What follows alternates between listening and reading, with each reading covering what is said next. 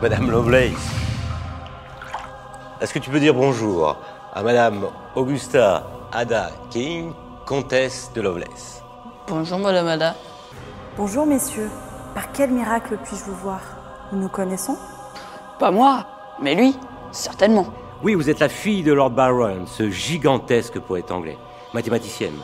Elle a publié ses résultats mathématiques sous un nom masculin, vois-tu, car dans cette époque qui se voit aussi civilisée qu'elle est machiste, elle vivra sa vie de femme au mépris de sa réputation et au mépris des imbéciles.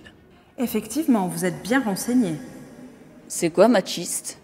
C'est une, euh, une vraie question. Une vraie question.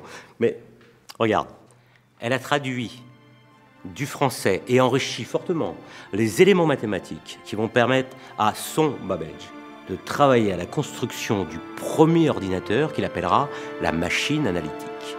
Hein? Bah quoi? Euh, Une minute, je suis paumé. Charles Babbage.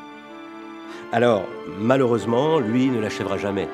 Mais, mais à partir de ses plans, on a pu le construire au musée de la science de Londres. Et figure-toi qu'il qu'il fonctionne parfaitement. Elle fonctionne Mais c'est incroyable La machine analytique n'a aucunement la prétention de créer quelque chose par elle-même. Elle peut exécuter tout ce que nous saurons lui ordonner d'exécuter. Son rôle est de nous aider à effectuer ce que nous savons déjà dominer. Des opérations numériques et aussi symboliques. Ada est celle qui a permis d'incarner les algorithmes dans des programmes.